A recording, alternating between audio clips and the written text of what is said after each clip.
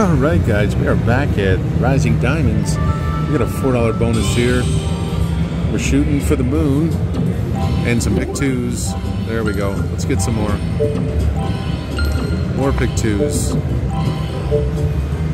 Okay, so our resets up to six.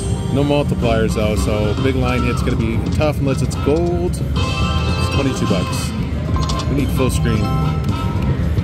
Even greens pay really nice. Come on. Oh, we got the reset though. Another reset. 37 bucks. Is that all the way? No. Oh, slow and steady. Maybe we can get the grand again or the major. That'd be nice. Had both once. Uh, no connector. Minor for 40 bucks. 50. That's pretty high. Minor reds, reds, reds. Okay, we're slow. Come on. All right. Can't let these diamonds fizzle out. Keep us going. All right. No money, but we're getting reset, so it's got to count for something. Oh, okay. That was only eight bucks. Man, the multipliers make such a difference in this game. What do we got? A minor, maybe? No. Come on. Let's see some blue all the way. What's that? 40 bucks, maybe? Oh, 48.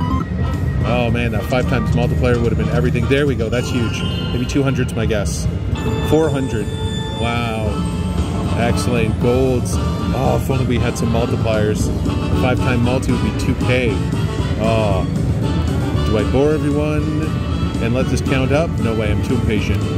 All right, let's keep going. Come on. We need some resets. We got two more spins. After a hit like that, most of the time she's done. Come on, diamond, diamond. Oh, three pass by. That's a tease, but we'll take it. Five bills, nice.